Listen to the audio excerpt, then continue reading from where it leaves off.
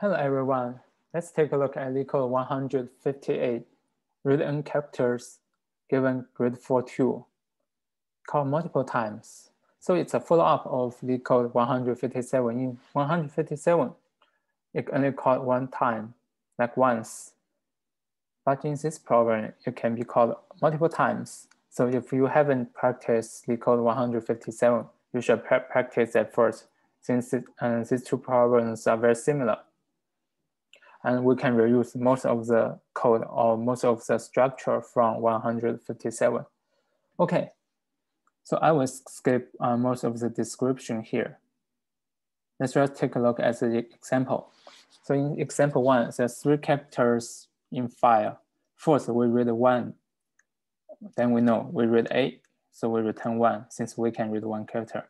Then we read two, we know we read BC, so returns two. At last, we try to read another one, but we have already read all the contents from this file, so we cannot read anymore, return zero. Okay, in the second example, there's also three characters in file ABC. So first we try to read four, but there are only three, so we can only read three, so we return three. Then we try to read more, since we already read all contents, so we cannot read anymore. We return zero here. Okay, so let's take a look at the implementation. Since it can be called multiple times, so we need to have a state variable in our class. So I place cache, place cache index and cache count as a class private variable. Okay, next, in read function, I have a local variable called index. Index is point to like where, uh, where the ne next character should be placed in this buffer. So finally, we just return this index to tell, to uh, just return the value like how many characters we have already read. Okay, so it's a while loop here. For this block, it just um, consume the characters from cache as much as possible. So when we first call this function, the cache is empty, cache count is zero. So it's a no op. Next, if, if index is n, which means uh, we have finished our task since we want to read n characters. So we can just return index. Then we try to fill our ca cache. So we reset cache index to zero and uh, calling read four to fill my cache. So cache count will be four, and I read the first four characters from file to, to my cache, which is A, B, C, D. Okay, if cache is zero, which means um, we have already read all the contents from the file, then we just break since we says no content remain in this file. Okay, so in, in the first while loop, we just prepare our cache. In the next while loop, we try to consume the contents in the cache.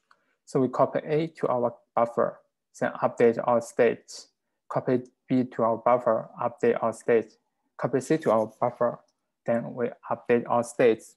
Now index is three, which is not smaller than n. You know, index is n, so we can just return index, which is three in this case.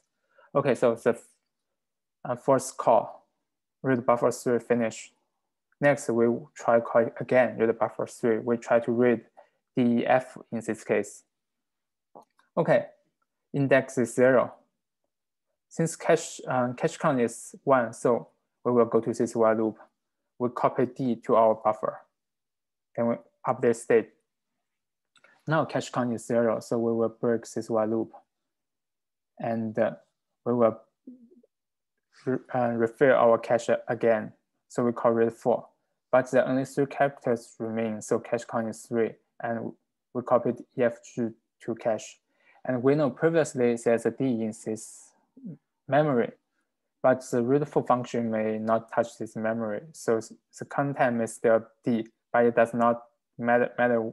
We don't care it since we know cache count is three. So we will not use this memory. Okay, next I copy E, update our state, and copy F, update our state. Now index is three, so I can just return index, which is three. Okay, that's the solution. So the main idea here is to have uh, some state variable in my class. the cache, cache index, and cache count. Okay, that's it. See you next time.